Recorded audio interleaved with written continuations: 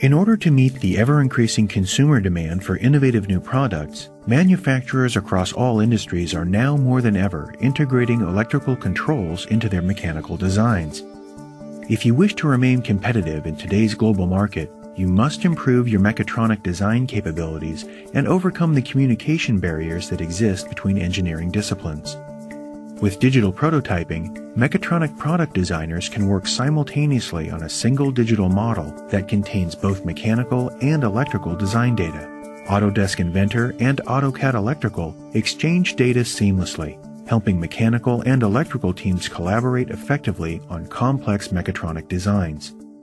Learn how Autodesk Digital Prototyping offers a scalable, attainable, and cost-effective approach to mechatronic design that can help you improve quality, reduce development costs, and get your innovative mechatronic products to market faster.